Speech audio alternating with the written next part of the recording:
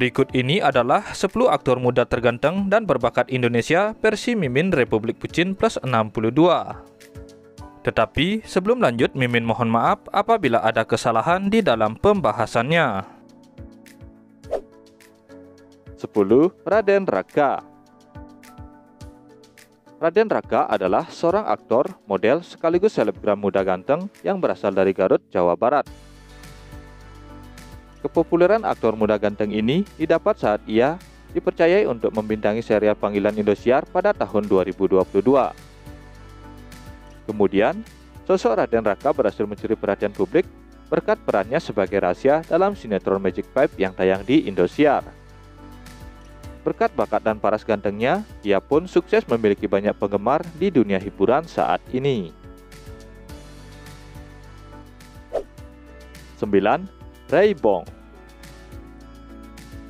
Aktor muda ganteng selanjutnya ada nama Ray Bong. Ray Bong telah sukses menjadi aktor muda terkenal di dunia hiburan Indonesia setelah sukses membintangi berbagai judul film, web series, dan sinetron populer Indonesia. Salah satu yang berhasil melambungkan namanya adalah sinetron yang berjudul Dari Jendela SMP berperan sebagai Joko.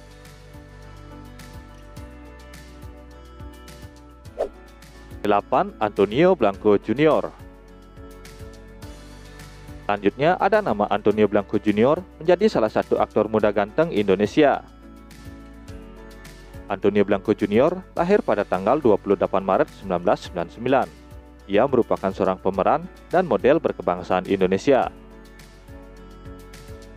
Pada tahun 2021, Antonio Blanco Jr. mulai dikenal karena perannya sebagai Adi Buana dalam sinetron perdananya yang bertajuk Buku Harian Seorang Istri.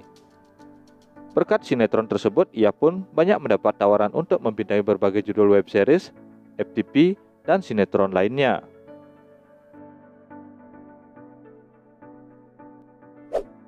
Tujuh Al-Ghazali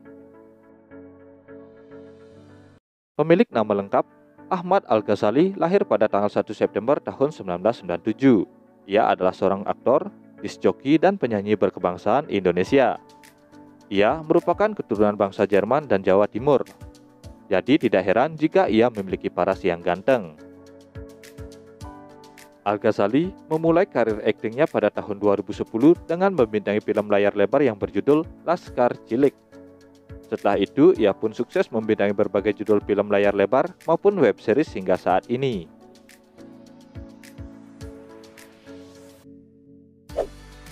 6. Brian Domani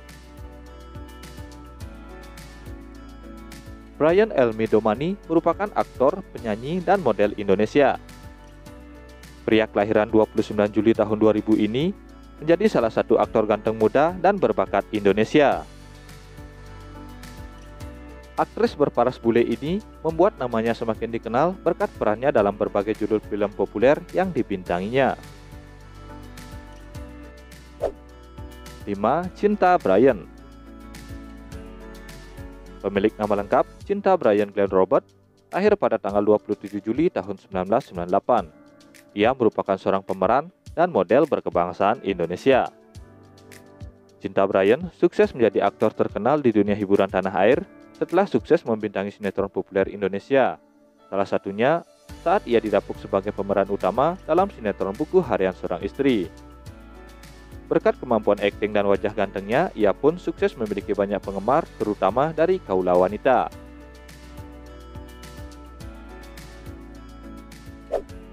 Empat, Junior Robert Pria kelahiran 9 November tahun 2000 ini menjadi salah satu aktor muda ganteng Indonesia selanjutnya. Adik kandung dari Cinta Brian ini debut di dunia seni peran lewat sinetron yang berjudul Best Friend Forever di tahun 2017. Kemudian namanya semakin dikenal lewat sinetron yang berjudul Roda Roda Gila pada tahun 2022. Di sinetron tersebut, ia didapuk sebagai pemeran utama bersama aktris cantik Kalista Arum. 3. Angga Yunanda Selanjutnya ada nama Angga Yunanda menjadi salah satu aktor muda ganteng Indonesia. Pemilik nama lengkap Angga Aldi Yunanda lahir pada tanggal 16 Mei tahun 2000. Ia adalah seorang pemeran dan penyanyi Indonesia. ia dikenal luas berkat perannya dalam serial Malu-Malu Kucing dan Mermaid in Love. Kemudian, namanya semakin terkenal berkat perannya dalam film yang berjudul Dua Garis Biru yang dipasangkan dengan aktris cantik Adisti Sara. 2. Iqbal Ramadan Diketahui, Iqbal Ramadan memulai karirnya sebagai seorang penyanyi yang tergabung dalam grup musik Cowboy Junior.